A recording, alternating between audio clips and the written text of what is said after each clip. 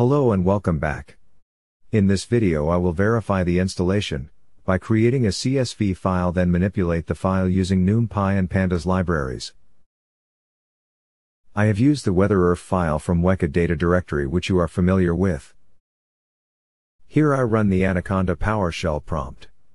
Then I will use ms-dos command to create a directory called practice1.